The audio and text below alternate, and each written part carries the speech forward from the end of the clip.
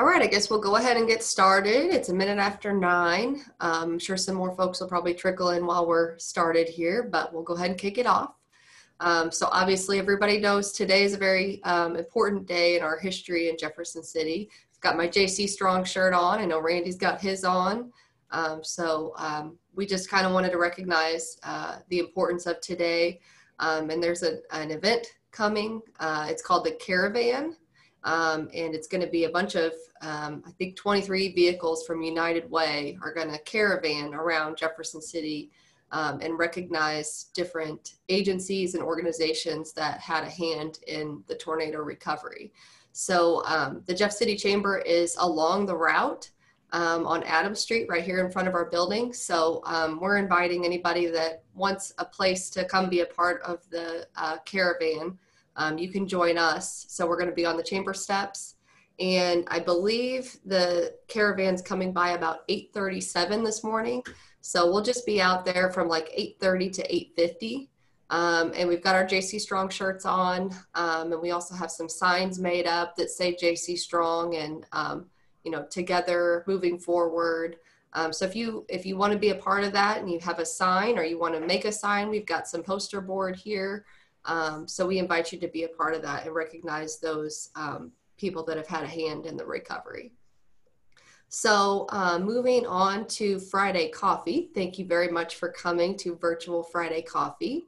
Um, sorry if Kelsey, at 8.30 isn't going to be working.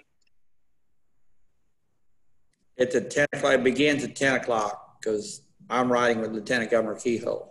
Oh, I'm sorry. You're exactly right. I, it was 10:30 to 10:50. I just had it wrong on my piece of paper here. I apologize. When so meet us calls out me- front 10:30 to 10:50 this morning, not 8:30. Kelsey, there was going to be a race off of this thing and come back out here and get back in it again, it looks like. there you go. Um, so I will go ahead. Um, I'm going to share my screen here. And I apologize if this is kind of Groundhog Day for some of you with these housekeeping items, but uh, this is for anybody that has not attended these calls before. Um, so just a couple housekeeping items. Um, you'll notice everyone is muted. Um, that's just to prevent any background noise and make sure everybody can hear the speaker. Um, and then we also recommend if you want to change from gallery view to speaker view up in the top right hand corner, that allows you to view the speaker when they're speaking um, full screen and then it'll switch back and forth between the speakers. Um, and then if you have any questions for the speaker or for Randy or for any of the staff, um, you can put those questions in the chat window. And there's a button on the bottom of your screen that says chat and that'll bring up that window for you to type that in.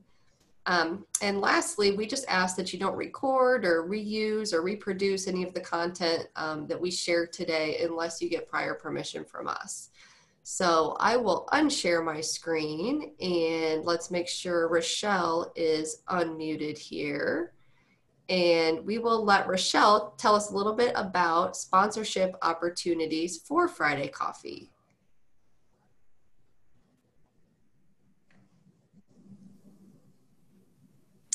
Rochelle, you're still muted. Morning, can you hear me? Yes. Good morning, everyone. Happy Friday. Yeah, Cumulus Media has been a sponsor, and we are excited to continue to be a sponsor of the Friday Coffee. We're thrilled that it's once a week now, not just once a month. Um, it's a little more convenient, so I notice, notice the attendance has gradually been even more increasing. But with uh, Cumulus, you know, with our seven radio stations, we communicate to close to 200,000 people in the mid Missouri area each week. And so, as a sponsor of Friday Coffee, not only do you get to be a presenting host here and focus and, and present your business in front of everyone, um, we'll also sit down with you. Cumula, a representative from Cumulus Media will sit with you and we'll draft a audio campaign to kind of help you promote your business and help you promote you being a sponsor of Friday Coffee. Um, Awesome. yeah, go ahead. Go ahead. I've got a logo in the background here. The Midmo is open, and I didn't know if you'd like me to discuss that right now because that's one of the things, one of the features Mid uh, Cumulus has done. You know, I'm local here in Jefferson City, but Cumulus, our um, CEO, is out of New York. So Cumulus um, nationwide, what we've done is created this wherever the community is open. And we're letting everyone, all of our listeners across the, the globe, know what different small businesses, large businesses are doing and how they're kind of transitioning back into this crazy time. And so I'm proud to um, kind of present to everyone here a free um, platform for people to kind of go to and focus their business. But fill, spend about five minutes, fill out a form, and then we'll kind of draft a meeting place for everyone to go to. Um, just check out the site. It's very self-explanatory, and it's kind of nice that we're updating it quite often because we're seeing weekly in the Columbia, Jeff City area, even at Lake of the Ozarks, how things are changing and how businesses are adapting. And it's kind of neat because it's one place. We're advertising on the radio too to let people know what businesses are doing to thrive in this crazy time. And Rochelle, what's the link to that website? Exactly that. Midmoisopen.com. Awesome. Thank you so much for doing that. That's very helpful to our, our businesses. Um, and we'll go ahead and, uh, and pass it along to Randy. Hey, good morning, everybody. Can everybody hear me? Do this if you can hear me. No? Okay. Mickey Mouse, Mickey Mouse. Okay. good morning, everybody. This is the, I believe it's the seventh Friday coffee. Kelsey, is that right? Sorry, you have to ask you questions. Okay, yeah, good. Okay, so uh, what we want to talk about uh, today is uh, the legislative session, 2020 legislative session. Uh, and we have a, a couple people here today that are going to help us with that. Uh, one was advertised, and that's Rudy Veit, and we'll I'll introduce him in a minute. And the other one is Richard Sheets. Richard is with the uh, Missouri Municipal League, and he's got a lot of background, obviously, on legislation that affects uh, uh, local communities uh, and cities in particular. But the one thing he has a real expertise in is the use tax, and I'm going to call it Wayfair because that's what everybody describes it as. So I know that uh, that was not successful this year, but we're very interested in that in Jefferson City, and I wanted uh, Richard to kind of give us his his uh, thoughts on it, and then we can have some conversation. But first, let me introduce Representative Rudy Veit. Rudy is a good friend of mine, longtime friend, and state representative from the 59th district. I will point out that uh, uh, generally uh, these guys that are in the rural districts, and I think Rudy would say that's a rural district, Eastern Cole County, they don't have any any uh, components in the city.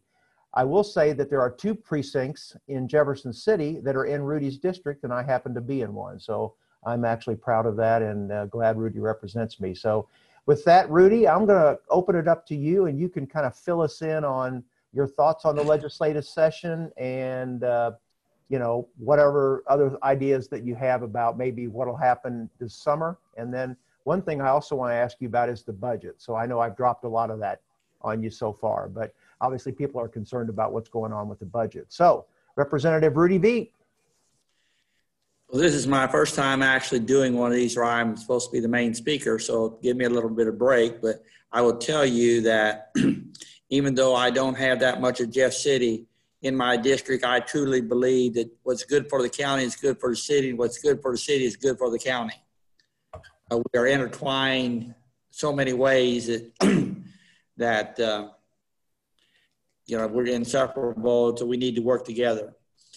As to what's happened I guess we want to talk about, well, we'll talk about the Port Authority bill just shortly. Okay. I just want to say thank you to Rick Mihalevich and the Port Authority people and what Randy Allen and the Chamber's done to work with me to get this bill, uh, the uh, bill to the governor. A lot of work's ahead of us, but it's impossible to do too much planning and get people motivated if we don't have the site as in any industry. We, I believe the governor will sign this and we'll have to make some negotiations yet but I think that that um, you know this session there were so many good bills that died and uh, and a few not so good bills that didn't. But uh, it, it made it through, and certainly Randy came by, Senator Mike Bernskoetter, Dave Griffith, uh, Lieutenant Governor Kehoe, everybody kept the pressure because everybody up there is fighting to get their own bill through and there were a lot of bills and a lot of legislatures and a small time to do it in. So I do want to thank you for that. I thank the chamber. Uh, I have great faith in the chamber and the Port Authority bill. Uh, Port Authority group will, and Callaway County, continue to to push that project and, and stay on top of it. As far as um, one of the things I was going to talk about was House Bill 1854. I'm glad that uh, Mr. Sweeney's here because there is a lot in that bill. I think it's a simple bill, came through titled something to do with some minor thing, but there's 29 sub sub bills in it. the budget, uh, we came back for and worked on a budget when some people were thought we shouldn't have, but we truly did need to get a budget out there. We have so many state agencies and so many people relying upon the state that they have to have some projection of what what they can do. In our budget, we probably will be back. We'll probably make some changes, but they need the best information we have at the time. You know, budgets are never in concrete; they are projections, and that's what we have to do. That because we have so many state agencies and so many businesses that rely upon that here in Jeff City, it is critical that we keep everybody informed. As you know, state employees' pay was not in there this year. And I hear the same old song though up there. Well, they need it. They're underpaid. We don't have money. This year, it is a crisis, but I need to everybody to keep pressure on everybody to keep the priority up there. It is a priority. It is needed. It's good for our community, but it's good for the state there were, from the chamber standpoint, there was a punitive damage uh, bill that did pass. it has some different language in it. There's some language on the Manufacturing Merchandising Practicing Act, uh, which has to do with deceitful trade practices, and that that's some modifications made on there. Um, some that will affect you individually is there's been some more changes on the re real ID uh, law, and ultimately we're going to, most of us need to get our driver's license for real ID.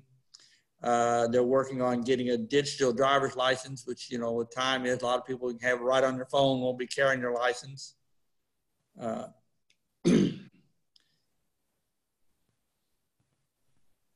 Hey, Rudy, can I interrupt you there for a minute? yeah, you interrupt me as often as you want to.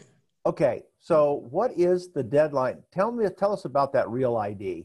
What is the actual deadline? I know it's been pushed back and pushed back and pushed back. Some people Well- told me last week they went in and got one. So tell us a little bit about that real ID. I think it's been kicked back to October of next year. Okay, okay. But I mean, it's something that most states have it, and I know there's some controversial about it, but about government getting your assets. But there were provisions put in there that they have to destroy a lot of the information you give them. Uh, if you have a passport now, it's not hard to get. Otherwise, when you get one, there, there's a list. You go on the website and tell you what documents you have to have there. It's not only important if you want to travel without your um, passport. Now, again, it will not get you on international flights, but does on on state on uh, United States flights.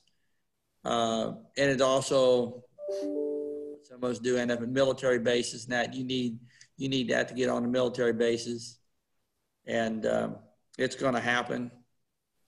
As the government adds other requirements for ID, I assume that this one will be the method for um, entry or participation or whatever in these in these federal government uh, programs. Correct? This is this ID is supposed to completely require with all the existing gov- federal government requirements, including the state of Missouri.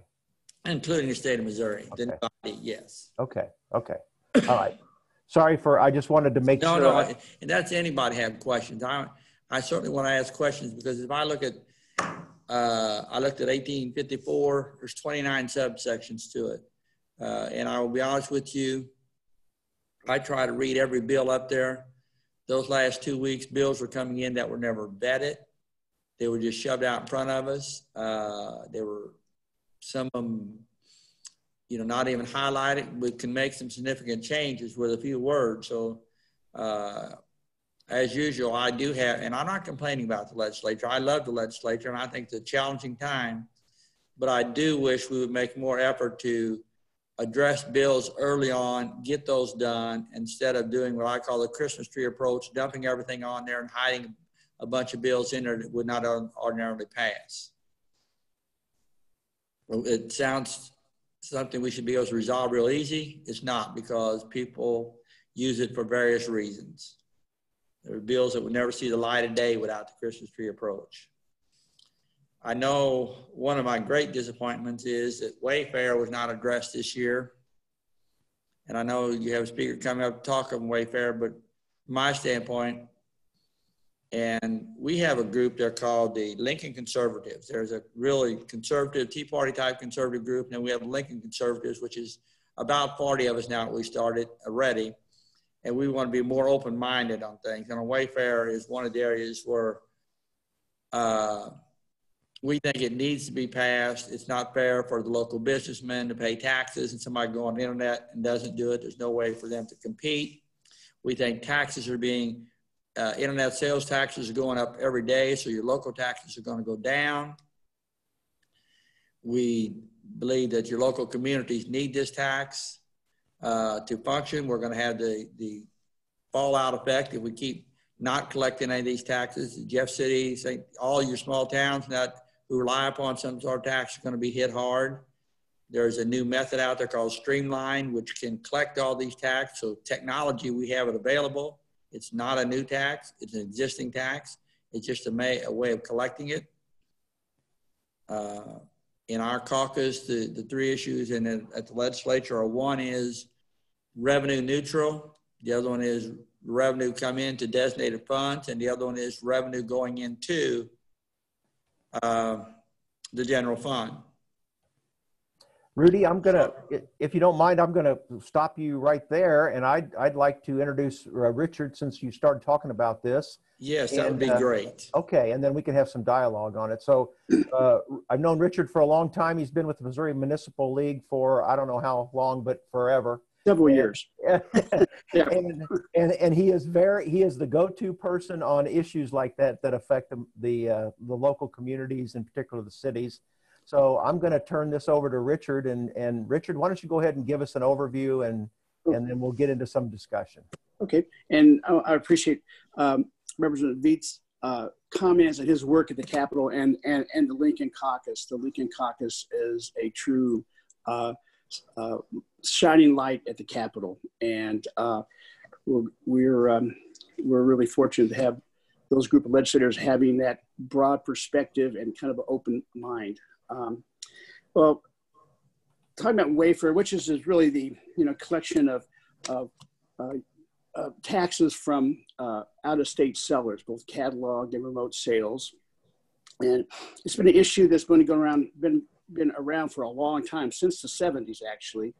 Uh, but it really has been highlighted and became more uh, of an urgent concern since we have the internet, because now we have more, as you all know, more shopping uh, on the internet, and um, many of our local uh, retailers, you all are feeling the, the pain of that. Uh, the, the sales are moving out of state, and two years ago, our U.S. Supreme Court realized that and reversed a couple of their uh, earlier decisions that said that the earlier decision said that the businesses had to have a physical presence in the state before uh, the state can collect their sales or use taxes. Well, they reversed that decision because of the changing uh, uh environment we have now in our sales and uh, gave us an opportunity to start collecting uh, state and local sales and use taxes.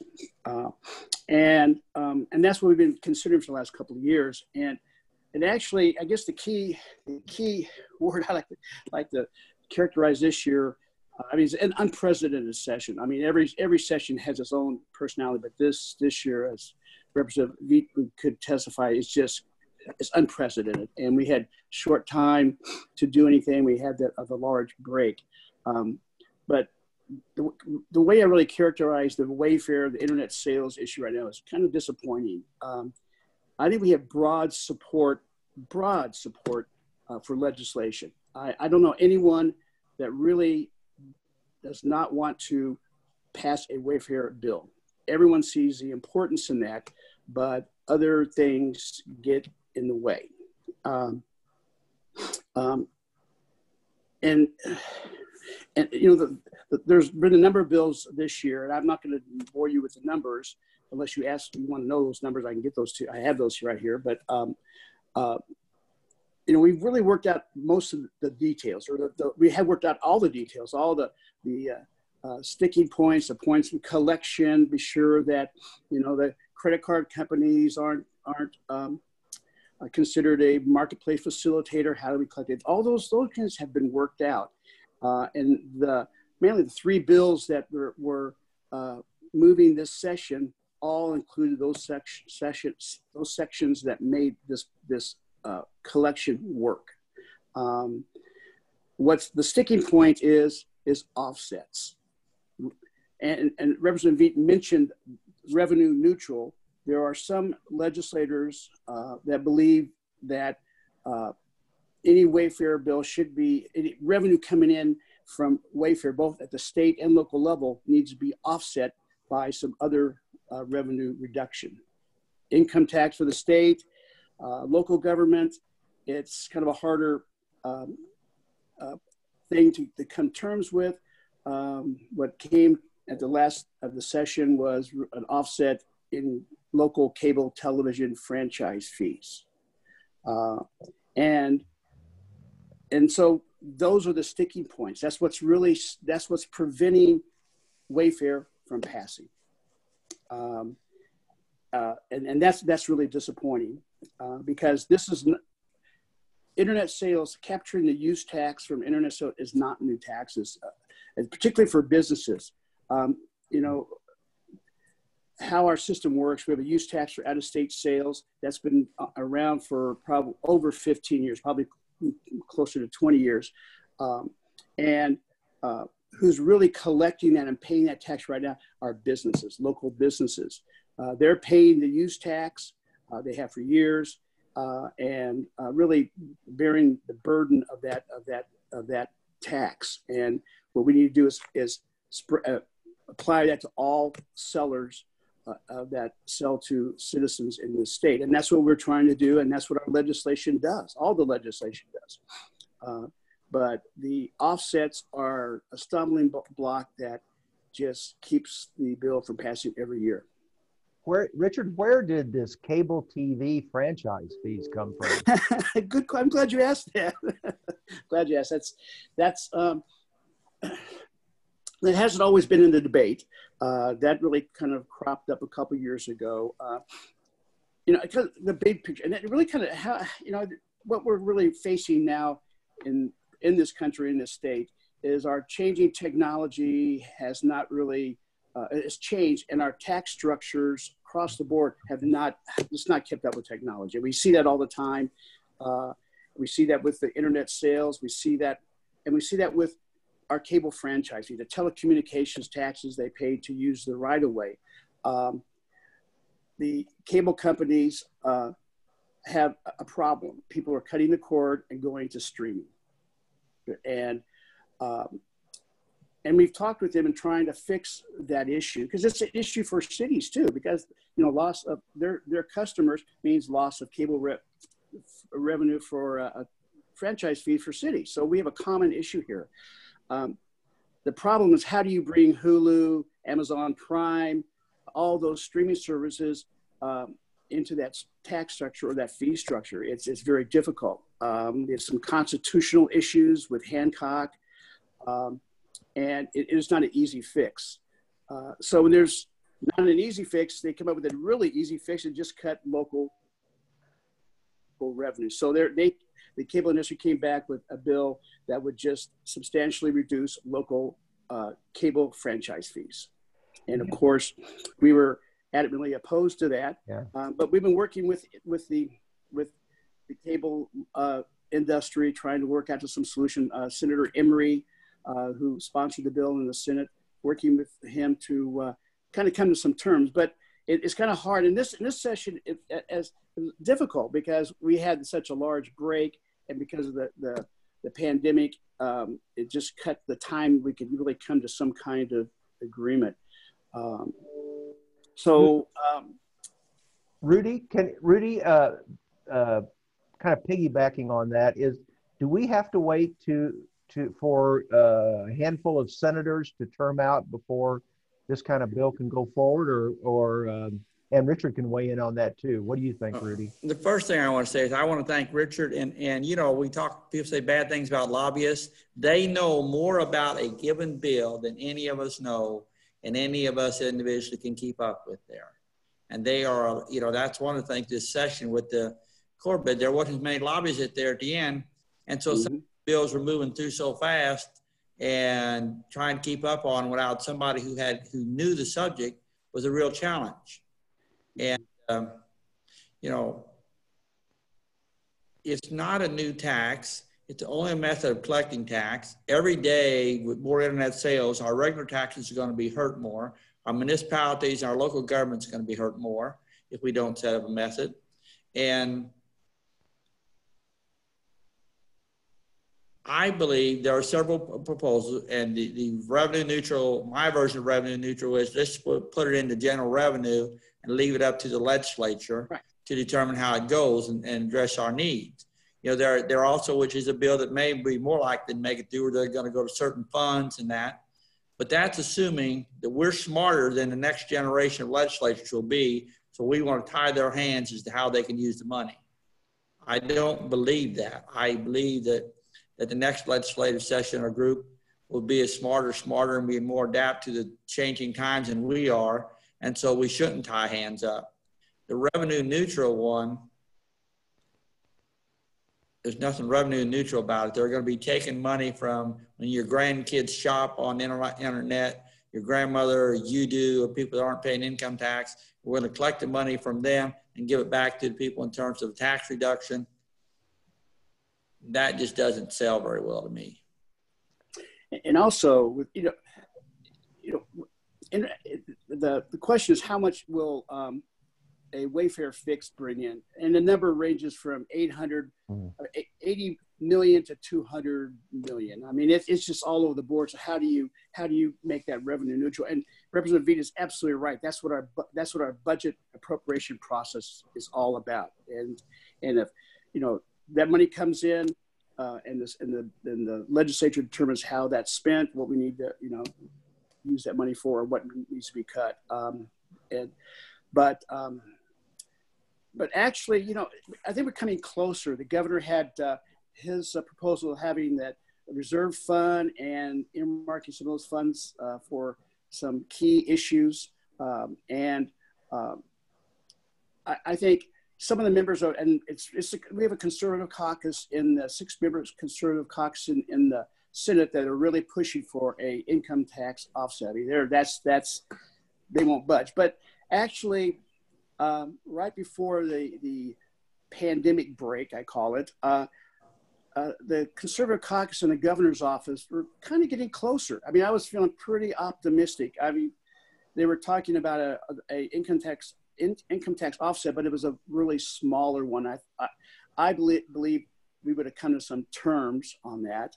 Um, but then when we came back, it the whole dynamics changed. Uh, uh,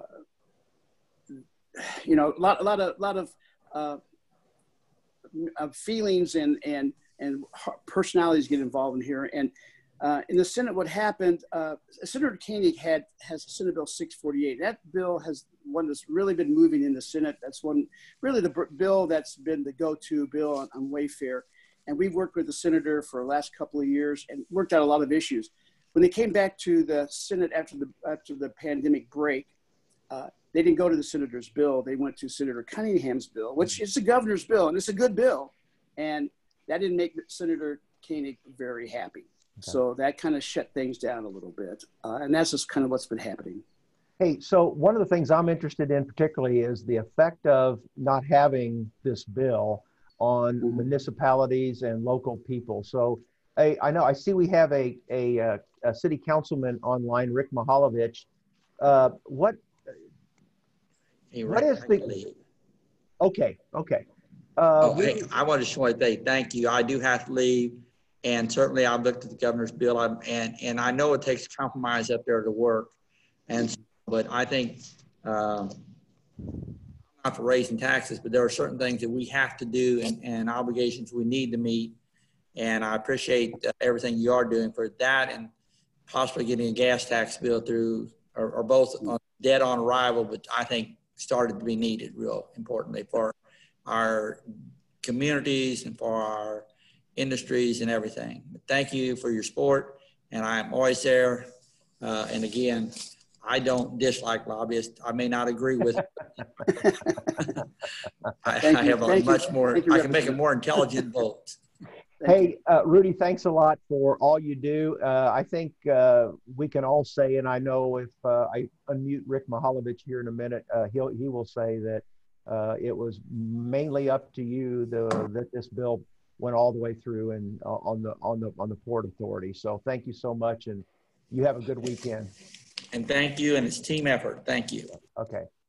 Uh, Rick, I was going to ask uh, about, I know that the cities are extremely interested in uh, this revenue that is currently being lost because we don't have a use tax or whatever in place and, this, and this bill authorizing the collection of that. Uh, would you give us some comments about how that might, how, how, how that affects the city government? Well, first of all, I wanted to Aviv for all the work he did on the um, on the port bill, as well as the, the what I'd call the Missouri, the Central Missouri delegation of uh, Griffith, uh, Lieutenant Governor Kehoe, Senator Bernskoetter, and many, many others, the chamber, and and uh, it was a team effort that got that thing uh, over the goal line in a short, really short two years. Back back to, I think uh, Richard for all the work he does in behalf of the uh, cities of the state and specifically with regard to this um, this particular uh, issue. We we tried to pass a, a use tax. What was it? Two years ago, Randy. Correct. And it just has that. It's hard to explain. It's hard to um, communicate, uh, and and uh, it just the the Wayfair seems to be the right way to go to to solve it for everybody. Uh, I know I, I posted there that uh, to everyone that we have a 12 million. We depend on sales tax for 12 million out of a 33 million dollar budget. We're going to expect a, a fairly large hit on that. And as a city, we, we have a policy of 70% of that budget will be used as a fund balance. So we have a little cushion. Uh, that being said, we just went through a flood and a tornado a year ago. So uh, that rainy day fund is starting to starting to be so critical to our planning. Um, on the heels of this, we have a capital uh, improvement tax for, for, both the city and the county, which is wildly popular. I think it passed by over 70% uh, uh, for the county and the city. And, and, it identifies key projects. And while the bulk of the money uh, that comes out of sales tax probably is out of the city of Jefferson, it impacts the entire county in, in, in numerous ways. And uh, I think the voters really appreciate the fact that we outline how that money is to be spent. So uh, I know there is a group uh, of business folks in town that want to, uh, that are interested in, in promoting the use tax. I think they're waiting for kind of um, an opportunity of whether or not they have a groundswell of support from the East Side Business Association, from the Downtown Association, West Side, all the associations from a, from a business standpoint of promoting this. Uh, so they're kind of looking towards, I think, uh, the General Assembly and advice on Wayfair and, and, and, maybe give another run at this use tax uh, on the ballot. Um, it will not be, it's too late for the August ballot, but it could happen probably uh, municipal election next April. Um, so I, I, believe based on what I know about our city budget as a finance uh, chair, uh, it, it, it's going to be critical going down the road. We, we really struggled with uh, fleet replacement for our uh, public uh, safety folks. And uh, those needs continue to go up and, and, and our resources seem to be um, flat.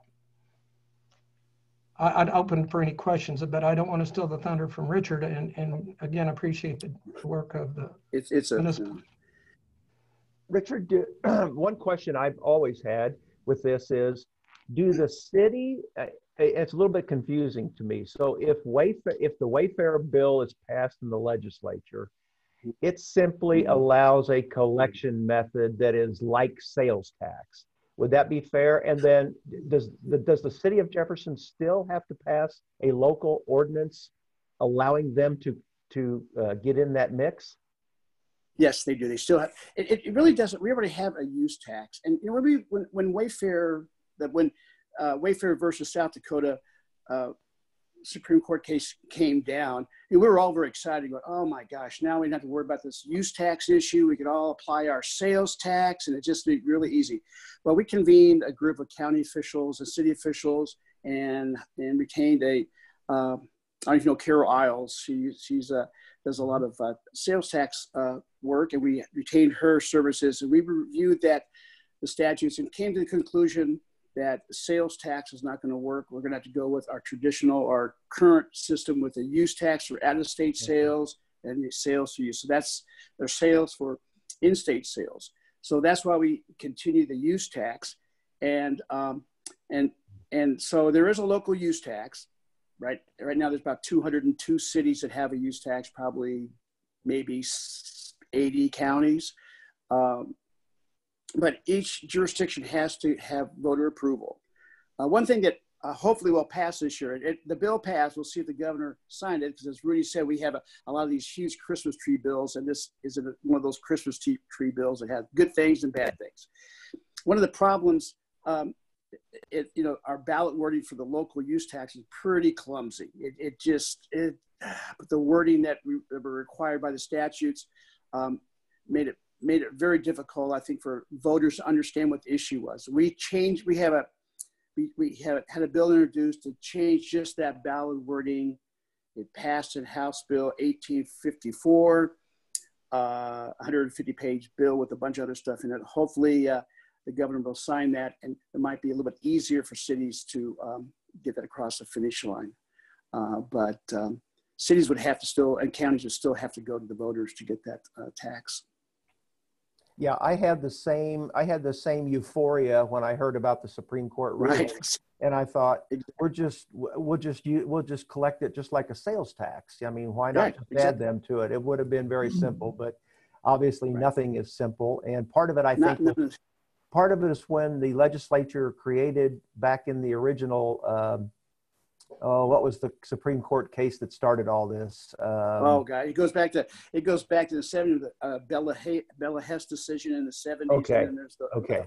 One in the '80s. Yeah. Uh-huh. Right. Okay. So I guess all of that caused uh, some consternation, and I, you know, whenever we right. fix something, we don't fix it. We we fix some part of it, and then we create problems for the other. So anyway, yeah. I was yeah, I was I, I was euphoric about the opportunity for cities to go ahead right. and just add these out of state sales to sales tax. So, not going to happen. Right. Um, yeah. yeah. Rudy. Okay, so and so Rudy's left us. Really uh, oh, so I'm gonna. Uh, Rudy has left us. He had to go to another uh, event. So I'm gonna just kind of go around the room here and see if anybody has any comments. And I see Frank's got his hand up. Frank Reisig. I would like to address the concept of offsets, and I would like to suggest that taxes have already been offset, which we, what we could call legalized tax evasion. Shopping through the internet is legalized tax evasion. So if you tell these senators that they have already been offset. We're not increasing taxes. We're just bringing up to what it used to be before this new legalized tax evasion has been created.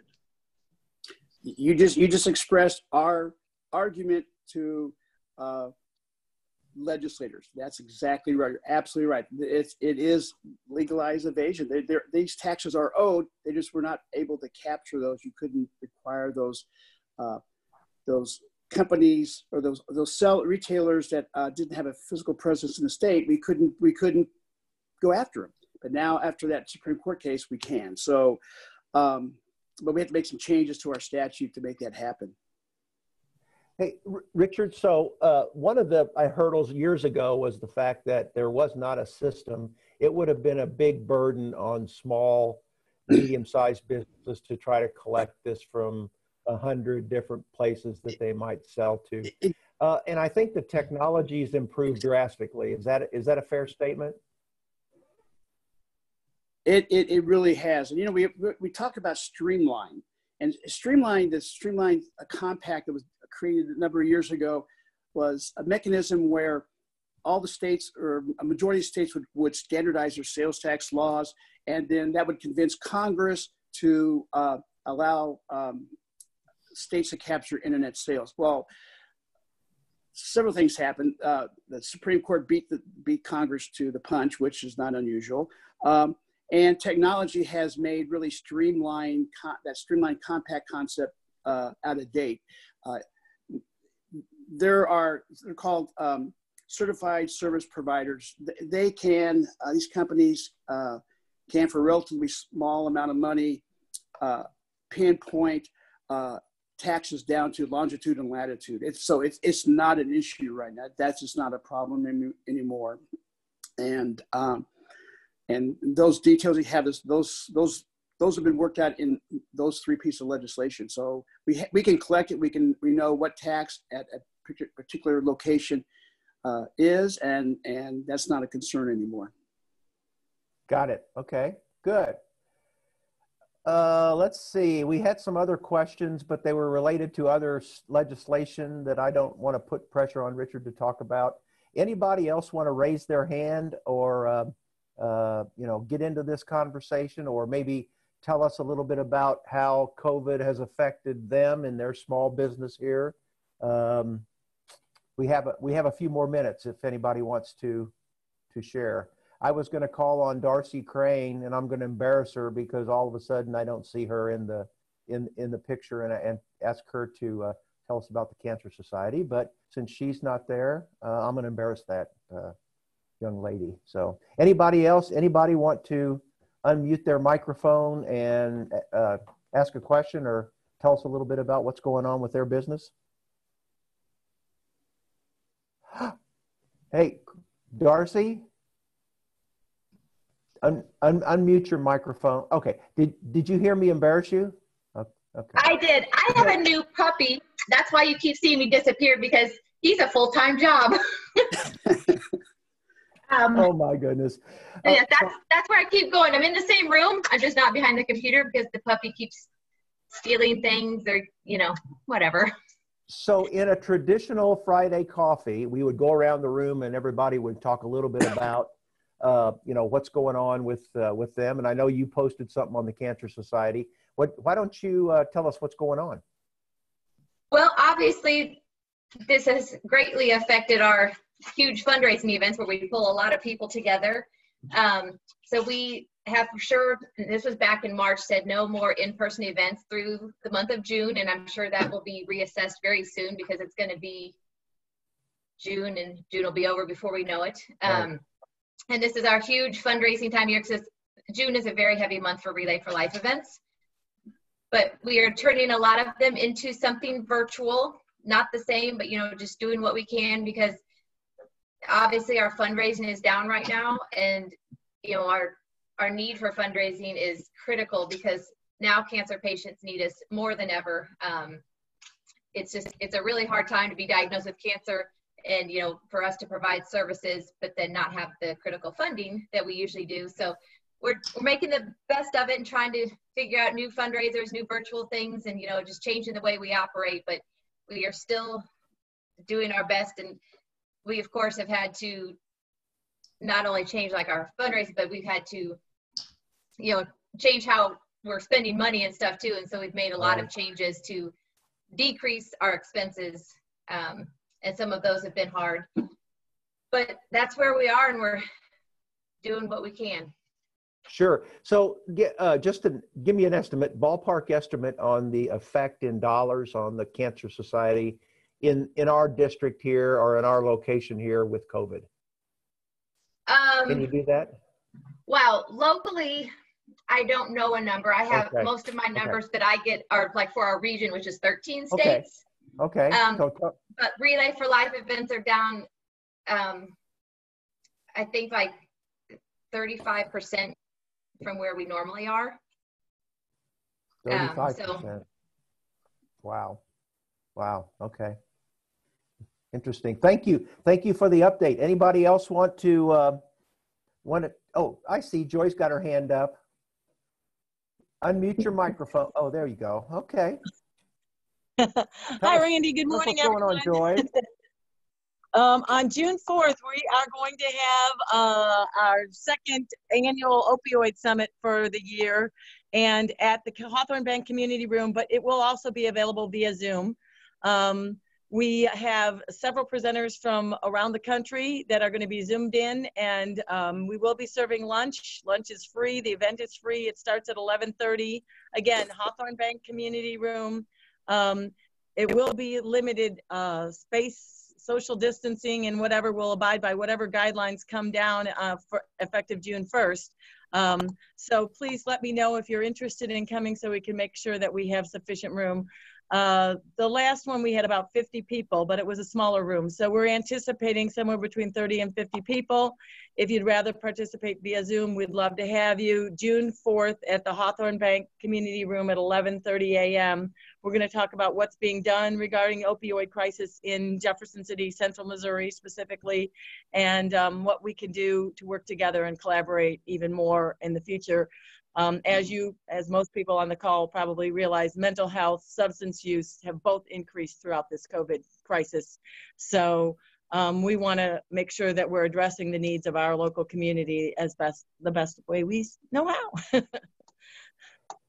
and with Yeah, the support so- of everyone. Yeah, so good, good point. Uh, uh, I was going to ask you that, and you already answered the question is, what's, I mean, the impact, you- we all know that uh, the impact of this, just from the fact of the uh, uh, change in our economy. You know, I don't know what our latest unemployment uh, rate here is uh, in, you know, we see the national numbers, and it looks like by the time next Right. month hits, we'll be up to 20% unemployment.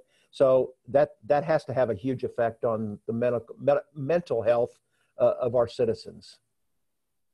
Yeah, and May is Mental Health Awareness Month, Oh. so that I know Compass and and several United Way, several other of our partner agencies are putting out information about how to maintain positive mental health and and things you can do. Um, you know, just the stresses. I I know that. Uh, we had a law enforcement officer at our um, board meeting on Wednesday, and he mentioned that um, domestic violence has increased in the community for sure. So those are some of the concerns that we have that we're trying to address, and we know that substance use nationally has escalated, and I'm sure that that's no different in our community. So hopefully we can have a discussion on June 4th of ways that we can work together to um, help those people that need our help. Thank you, Joy, and, and uh, you know, pass along our thanks for all the work that you and the and uh, your organization does. Appreciate it. Thank you. And then Okay. the other thing that I wanted to announce, sorry, one other big thing. On June 9th, we are celebrating our seniors, awarding scholarships and recognizing those kiddos. And I really feel like they've been gypped this year of a one, all kinds of wonderful senior opportunities. So anybody that um, is courageous enough to come to the Capitol Plaza Hotel, again, we'll be doing whatever the restrictions are that come out. But June 9th, we will be recognizing our drug-free seniors and awarding five scholarships on that day and all of our students of the month for the entire year. Um, so 6 p.m. Capitol Plaza, June 9th. If you can come and help support those kids, I'd like to invite everybody to join us. Thank you. Thank you, Joy. Hey, I see Donna has uh, given us her smiling face this morning, and uh, Donna Stone, and she's got her JC Strong T-shirt on. Yay, yay! Uh, what? I know the realtors, the board of realtors, and all the realtors that do such great work in our community have been affected by all this. What's uh, tell us a little bit about, in, you know, what's going on with the realtors? Um, they um, th- they're still busy. Um, I will tell you, it's a kind of a new way of doing business for them. Um, they are, um, you know, a lot more um, cautious with, you know, showings, and uh, you know, they've just now started doing open houses, probably within the last couple weeks.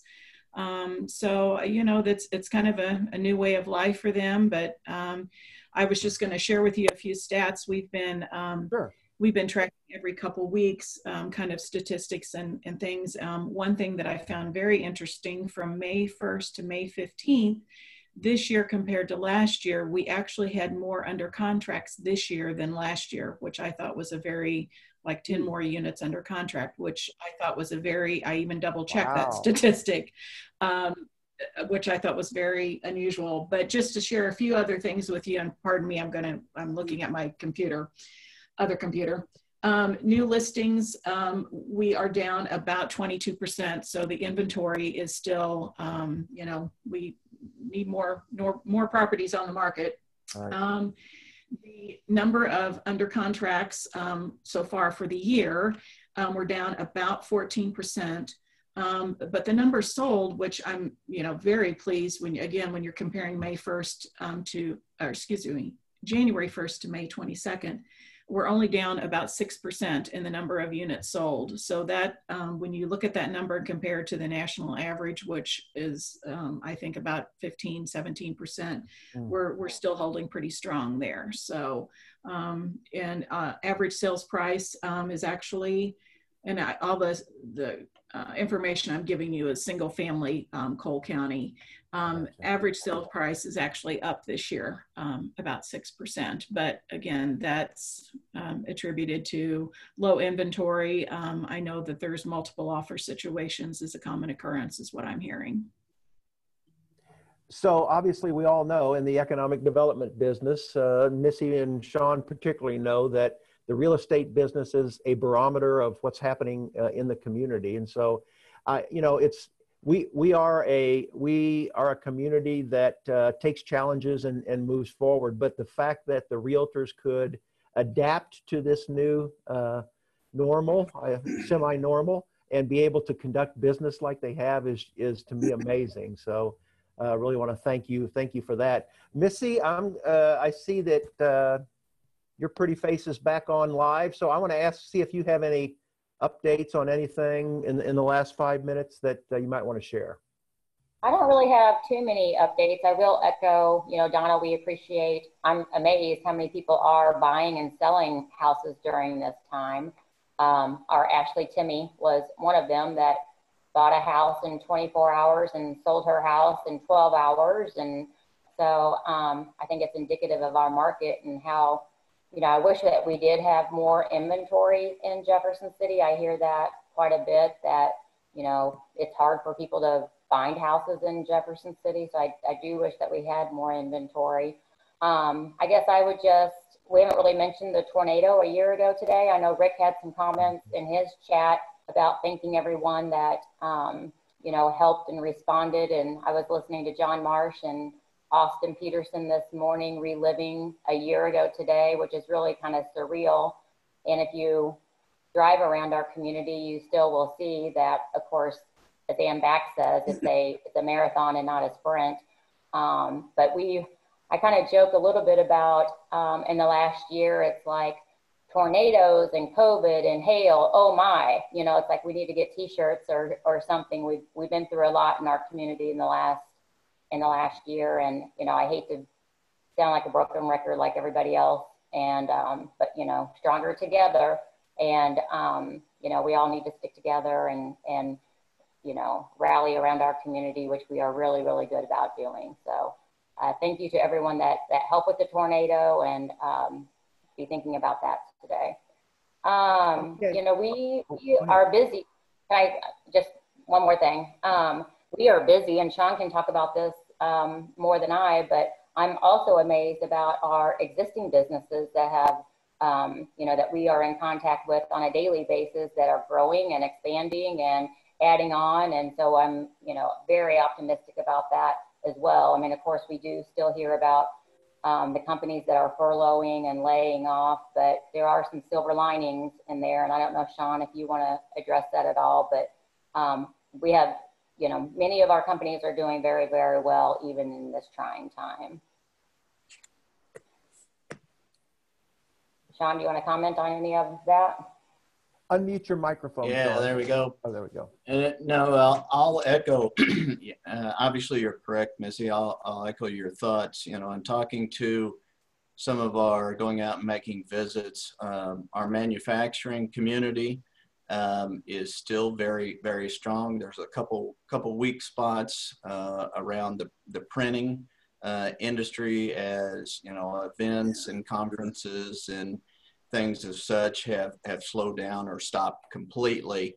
Uh, but some of the small businesses, as they come online uh, in the downtown area, you know, they've, they've still had online sales, uh, you know, front door pickup. So yes, our restaurants uh, and some of our service community have really taken a hit, you know, the hotels.